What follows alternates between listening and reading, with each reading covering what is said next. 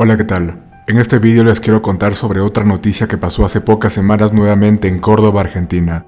En uno de mis vídeos anteriores, un seguidor me contó de este suceso que involucra nuevamente al famoso y mediático dogo argentino y lo involucra nuevamente de mala manera. Accidente o incidente. Para resumir todo, hace pocas semanas dos dogos argentinos escaparon de su vivienda atacando a una menor de 15 años y otros canes que vivían en la zona Lamentablemente la joven ya no está en este mundo. Esta noticia de hace pocas semanas ha conmocionado a la población de Córdoba, pero para no dar tantas vueltas, te lo resumo así. La joven de 15 años era rescatista de animales abandonados.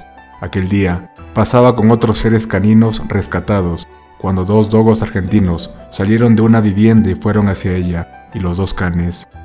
Uno de los dogos fue directamente al cuello de la fémina por lo que posteriormente dejaría de existir.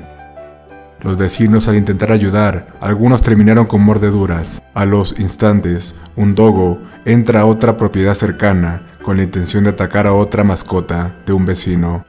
En este momento el dueño del animal coge un arma blanca que acaba con la vida de uno de los dogos. La cuestión es que, al final los dos dogos argentinos también perdieron la vida de una u otra forma.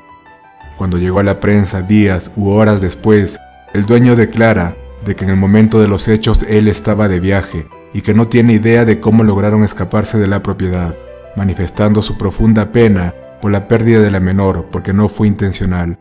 Sin embargo, en redes sociales, todos han ido en contra del propietario, afirmando que eso no devolverá una vida.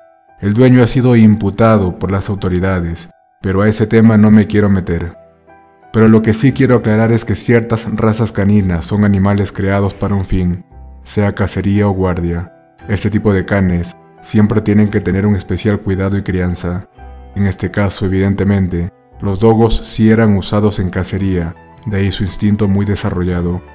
Los accidentes no se pueden prevenir, pero ya que no sé los detalles de cómo se escaparon ambos seres caninos de casa, prefiero no opinar y solo les quise contar esta lamentable noticia. Me gustaría que dejes tu opinión del caso abajo en los comentarios. No te olvides de ver mis vídeos anteriores. Hasta la próxima.